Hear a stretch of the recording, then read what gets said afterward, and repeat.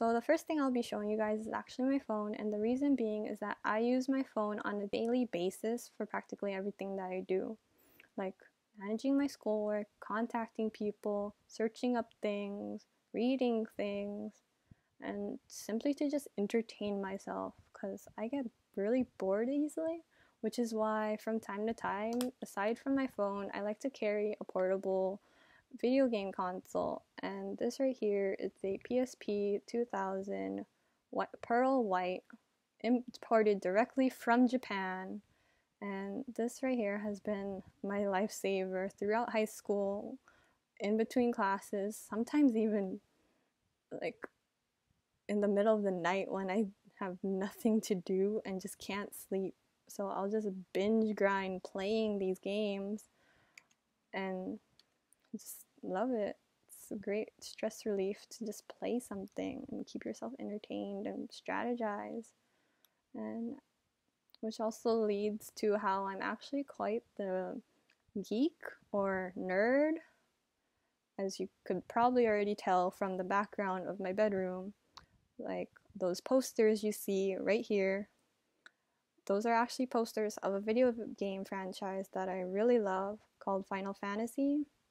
And right here on this side of, on my left, are actually the little knickknacks, figurines, collectibles, and the occasional like music albums that I've collected over the years. Just simply because that's my hobby. I love to collect things and especially like build things. So just to show an example, this right here is actually one of the first Gundam models that I've actually built and it's really small but it means a lot to me because it was the first one I've built ever since moving out here to Hawaii.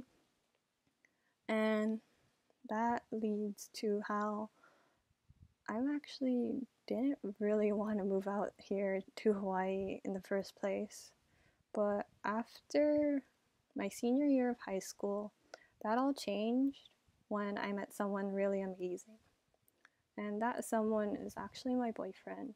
We've been dating for six months now, and to symbolize all that, we wear these bracelets, these lokai bracelets. To everyone else, it may seem like nothing but just an ordinary fashion item or an accessory, but actually, to the both of us, they mean a lot. We wear them every day and never take them off unless we're like somewhere where we shouldn't be wearing them, like in the lab for our science classes, or at the beach where it could probably get lost or accidentally fall off while we're in the water, or while we're cleaning, because who knows, chemicals could go ruin them since they're made out of silicone. But these are symbolic of how long we've been together. This right here, the blue one, it was to mark our first two months together and this clear one that you probably can't really see is to mark our six months, which was actually just a week ago. And just, he's just someone really special to me that I just really appreciate having in my life now.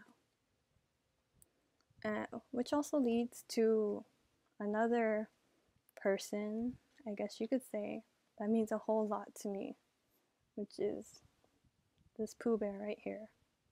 This little guy has been with me through thick and thin ever since I was born. He's been my childhood friend, always there, would always protect me while I have nightmares when I was little.